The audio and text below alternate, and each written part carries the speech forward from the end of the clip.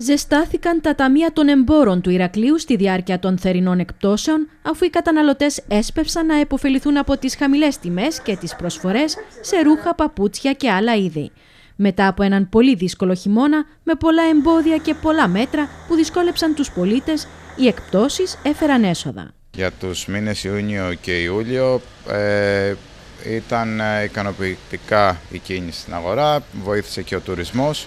Ε, υπάρχουν και οι εκδηλώσεις οι οποίες είχαν σταματήσει τα τελευταία δύο χρόνια, οπότε αυτά κινούν την αγορά σε αρκετά υψηλά επίπεδα. Ε, τώρα για το μήνα Αύγουστο υπάρχει έτσι μια υποτονικότητα. Βλέπουμε ότι σιγά σιγά ο κόσμος, ε, αυτοί που μπορούν κάνουν τις διακοπές τους και έχουν φύγει από την πόλη. Οπότε περισσότερο κινείται τουρισμός μέσα στην πόλη και με αυτόν κινούνται τα καταστήματα. Εγώ θα σας αναφέρω ότι από τον Απρίλιο που ξεκίνησε η σεζόν έχει πάει πάρα πολύ καλά. Είμαστε πολύ ευχαριστημένοι.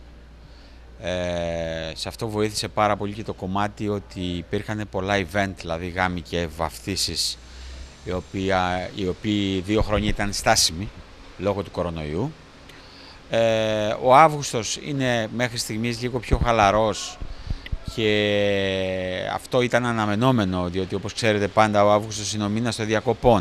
Οι γάμοι, οι βαφτίσεις και οι κοινωνικές εκδηλώσεις που για ένα μεγάλο διάστημα είχαν μπει στον πάγο επανήλθαν με αποτέλεσμα να επανέλθει και η διάθεση για αγορές και να κινηθεί η αγορά. Μετά από μια μακρά περίοδο που χαρακτηρίστηκε από τα κλειστά καταστήματα και τα αυστηρά μέτρα κατά της διασποράς του κορονοϊού, η αγορά επανέρχεται σταδιακά σε φυσιολογικούς ρυθμούς. Αυτή τη στιγμή ο κόσμος δεν είναι κουμπωμένος γιατί το μυαλό του ε, είναι στους γάμους, στις βαφτίσεις και σε όλα αυτά τα γεγονότα. Είναι λίγο σκεπτικός όσο αφορά το κομμάτι του χειμώνα που έρχεται. Οι καταναλωτές όμως ξοδεύουν έχοντας το μυαλό τους και στους επόμενους μήνες, καθώς δεν θα πρέπει να βγουν εκτός προϋπολογισμού. Οπότε τίποτα Τίποτα. Και άλλες χρονιές, αλλά τώρα πιο πολύ.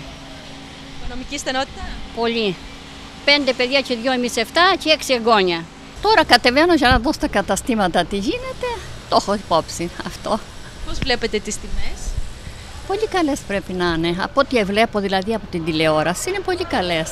Δεν έχω ψωνίσει ακόμα. Σκοπεύετε; Σκοπεύομαι. Βασικά πράγματα ή δώρα; Δώρα. Πάντως τα έσοδα στα ταμεία δεν αρκούν για να καλύψουν τα σπασμένα των τελευταίων μηνών και χρόνων, όπως σημειώνουν οι έμποροι που ελπίζουν σε καλύτερες μέρες. Σίγουρα δεν μπορείς σε ένα διάστημα σύντομο ενός δύο ή τριών μηνών να καλύψεις ε, δύο και τρία προηγούμενα έτη, τα οποία ήταν ε, ε, είτε κλειστά καταστήματα είτε υπολειτουργούσαν. Ε, εκτός αυτό μας βρήκε και ο πόλεμος στην Ουκρανία, η αυξημένα έξοδα λόγω ρεύματος, μεταφορικών, καυσίμων και ό,τι αυτό συνεπάγεται έχουν επηρεάσει και εμάς αλλά και τους καταναλωτές.